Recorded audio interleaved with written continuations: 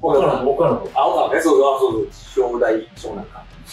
クリスぐらい物語背負ってると俺は知らなくてさ、多分なくなった。で俺、そのえ岡野と話した時にさ、僕らもサッカーとかやると、松木さんとかサイドやってて、ドラフトして、縦パスしたら、パスミスになったんですよ。そこにスラでいけますよ、やっぱ。で、そこで奪うっていう。その自作自演もあるけど、もらった方が素人ですよ。下手すれば。サッカーですよ。パスミスしちゃった。取り返さなきゃいけない。そのためにはスライディングなんだっていう、その本能というか、でつなりさんのどっちそうじゃないですか。あ僕もどっちかそうなんですけど、なんかこう、それって切り替えの速さじゃないですか、ある意味。松木さんぐらいダーティーなディフェンダーもいなかったからね、今の松木さん、みんな思ってるよ。ね。はい。口が悪い。口は悪いし、ボールのないところで蹴ったりとかしてて、嘘でしょみたいな。いやでも、本当僕 J リーグ始まった時に、僕試合で始めて、でベルディがもうナンバーワン強かったですよ。だけど、やられました。中盤、引いてって、ボール受けて、浮き球だったんですよ。完全に僕のボールですよね。胸トラクションが、こっから膝返しちゃった。で、倒れて、いってーっと、息できないぐらい。すっごい覚えてるんです。誰かわかんないですよ。放送してたじゃないですか、当時。で、まあ、ビデオ撮って見たら、初めてですよ。こう来てますからね。で、僕も、まあ、です前が出てたと会った時に、僕出てた。後から見返してたんですかあれもう大丈夫ですよ、そら。いや、お前は出始めだったから、潰した。潰された。国士舘みたいだよ。そこで僕が恐怖感持っちゃったら、もうダメじゃないですか。でも、あの当時のベルギーたちって、ペレーラもそういう感じだったらしいんですよ。ん。まあ足速いやつが、岡野とか足速いじゃないですか。ちょっと一回もうお腹って言っとけばいいやっていう感覚だし。まあ、それでも、まあ岡野が一回目言ってましたけど、で、そういうふうに、あ、僕らは思われたんだなっていうのは、うんある意味光栄なんですけど、でもじゃあ、レッツのディフェンダーがそこまでやったかっていうと、そうやってなかったと思うんですけど、当時のそのベルディの強さ、プラス、汚いって言ったら変なんですけど、まあ、ブラジルだからね。もうや、とりあえず一回やっとけみたいうん。だからほら、うちら、よく試合やってたじゃない？な。はいはい。あの、元代表の人たちも入って、で、こっちはさ、本田君いたじゃん。いやそっちは安倍ちゃんいたじゃん。はい安倍ちゃんがドリブルするとさ、本田君が近づいて変な音がするの。ガツンガツンって。安倍ちゃんドリブルやめたからね。もうこれ以上蹴られたくないっていうさ、後ろから。あ、こうやって、本田君ってのは潰していくんだ。まあ、帝京の先輩がね、帝京の後輩をね、アントラーズでもね。そうだ、でもそうだ。でも、本田さんにも、これ出てもらって、ファーストステージ、あんたじゃないですか。であの時も僕は試合も出てて、どう、どう、どう見てました別の時は。いや、もう別に、別はやっぱり弱かったよ。だけど、俺たちがやることをしっかりやるんだ。で、ボーナスゲームとかそういうことじゃなく、でももう潰してるよね。これとか、ボカンとか出てくるのが、まあ嫌だったよ、正直。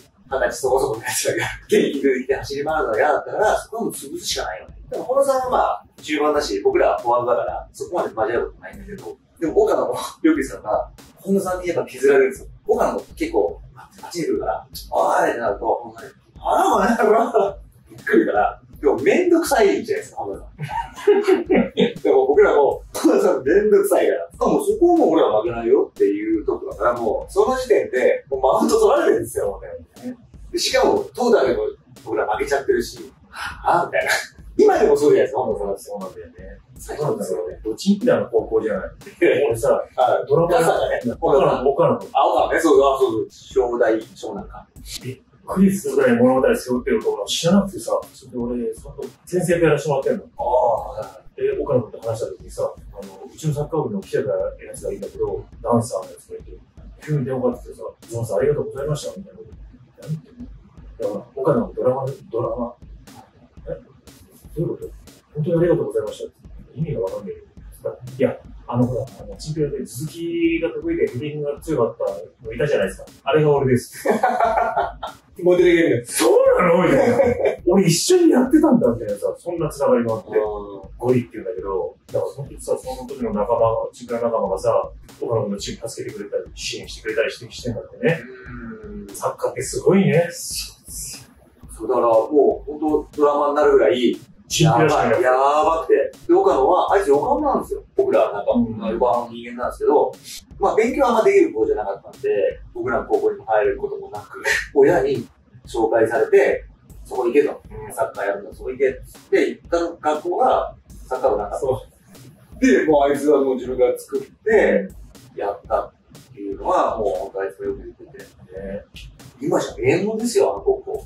ねであいつは、でもなんか自分はもう雑草だし、こんなにクソみたいな感じやってきたけど、とは言いながらも、でも、日本代表まで行ってね、それを別に、周りの人たちは、昔のことは知らないかもしれないけど、俺は違います、俺は違いますよって言ってる時点で違ってんだからなっていうのは俺は言うんですよ。今じゃありえないですね。もう今多分そういうのって、まあ私高校を作って、そのサッカーを強くしようって集めるのはできるけど、行った本人がサッカー部なくて、先輩一人だけいて、やりましょうって言ってやったっていうのは、それすごいなと思って。でも僕の高校サッカー選手権は、あいつ見に来てて、地元じゃないですか。でも毎試合見に来てて。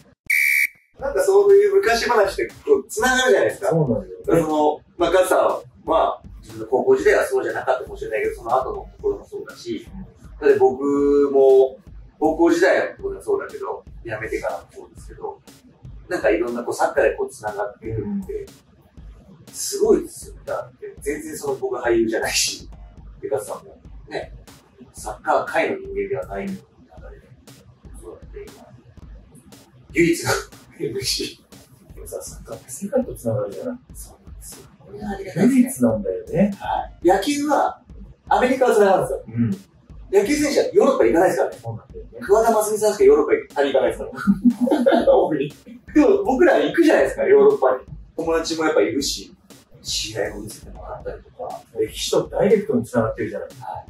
昔さ、スペインなんか別艦隊になって言われてさ、全然勝てなかった時だってさ、理由は分からなかったけど、歴史をこう見ていくとさ、敵対してる人たちまあがさ、代表がね。そう、代表の中で集まってさ、うまくいくわけがないんだもんね。で国、そもそも国を愛してない人たちだからさ、今でこそね、ちょっとこうまとまりましたけど、そうなん20年ぐらい前まではもう全然ですもんね。未だに語るんや独立戦争ですから。そうそう、バスクもそうだしさ、ピカソの絵なんかそうだけど、ゲルニカなんか、あのバスクの虐殺を描いた絵だからさ、そう考えると、そのバスクっていうのもスペインではないから、アンダルシャンもそうだし、イタリアもそうだけど、私、マラドーナがさ、ナポリ入った時に、はいミラン、サンチーロ行った時に、イタリアへようこそっていう札がこう並んだりとかさ、差別ですよね。ナポリなんて街じゃねえみたいなさ、ひどいことだったからね。本当にマフィアの街でさ、でもマラドーナの映画でいろんなことが有名になってきたけど、なぜ彼がああいう、ね、運命を辿ったかっていうさ、よくわかりやすいけどね。ね、それがナポリだったっていうのが一番ですよね。でもあの、あんなに弱いチームを世界で最高のチームに作り上げた人だからね。マラドーナの彼かですね。うんブフバルとか来た時にご飯を食べてて、やっぱりワールドカップで優勝してる人じゃないですか。どういうフォワードが嫌だったの？聞いたんですよ。誰もいない。まあ、マラドーナ抑えれば実際。イタリアワールドカップ。ただ、シュツトガルトの時に、チャンピオンズカップかチャンピオンズリーグかしかわかんないんですけど、ヨーロッパのリーグで、ナポリと試合した。いや、マラドーナ一人抑えるのも大丈夫。で、カレッカ一人抑えるのも俺はできる。だけど、二人になったら、絶対抑えられるって言ってました。これがもう、倍以上のものを発揮するから、マラドーナを見え、まあ、カレッカをマークしてるんだけど、マラドーナにちょっと行くとカレッカ消えてるんです。だから、それはもうどうしようもないけど、マンバーグだったら俺は誰でも抑えられるって言ってたのは、やっぱりその世界のね、話じゃないですか。引退して20年経ってますけどシュートの精度は変わっていませんよ。ああシュートだろ